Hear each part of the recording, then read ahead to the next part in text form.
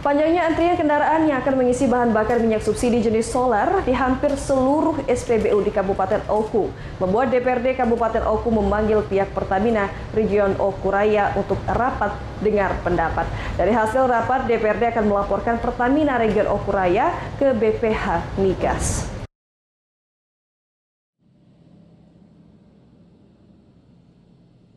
Banyaknya laporan masyarakat terkait susahnya mendapatkan BBM subsidi jenis solar di Kabupaten Oku. Rabu malam kemarin, DPRD Oku memanggil pihak Pertamina Region Oku Raya untuk rapat dengar pendapat. Pemanggilan ini dilakukan lantaran antrian kendaraan yang akan mengisi BBM subsidi jenis solar makin parah setiap harinya.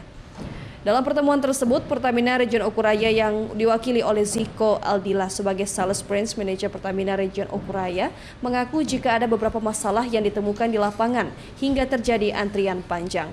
Pertama, adanya pengurangan kota BBM jenis solar sebanyak hampir 10 persen. Kemudian yang kedua, ada pengisian berulang oleh oknum sehingga banyak masyarakat yang tidak kebagian. Menurutnya pihaknya tidak dapat memberikan sanksi kepada konsumen SPBU melainkan pihaknya hanya bisa memberikan sanksi kepada SPBU yang tidak menyalurkan BBM subsidi sesuai dengan sasaran. Pertamina sendiri sudah menjatuhkan sanksi tersebut kepada salah satu SPBU karena pengisian Trijan menggunakan pertalit, namun untuk pelanggaran jenis solar belum ditemukan.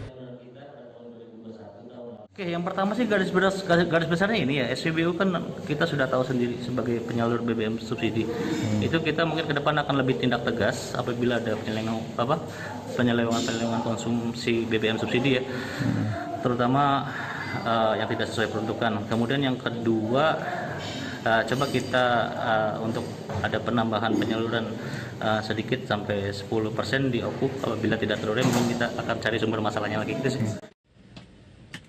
Sementara itu dari hasil rapat dengar pendapat tersebut, DPRD Oku menyimpulkan jika kelangkaan dan antrian panjang kendaraan yang ingin mengisi BBM jenis solar karena tidak ada pengawasan terhadap penyaluran hingga terjadi antrian.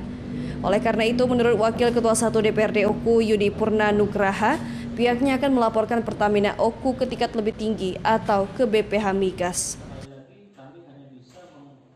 berkaitan dengan tugas, fungsi, kewenangan Pertamina Oku akan kita laporkan di tingkat lebih tinggi. Ya. Jadi selama orientasi kita berpikir bahwa ini kesalahan konsumen, ini kesalahan SPBU, coba kita geser bahwa di mana tugas pokok fungsi Pertamina dalam mengawasi SPBU, di situ kita uji. Jadi kemungkinan Pertamina Oku yang akan dijatuhkan sanksi secara jabatan pada tingkat lebih tinggi. Akan kita laporkan sampai bila perlu uh, ke BPH Migas. Menurut Yudi, orientasi selama ini jika antrian panjang tersebut disebabkan oleh konsumen atau SPBU. Sekarang ditemukan fakta jika Pertamina tidak menjalankan tugas, fungsi, serta wewenangnya, sehingga pihaknya akan melaporkan Pertamina Region Okuraya. Dari Ogan Komering Ulu Widori Agustino, iNews melaporkan.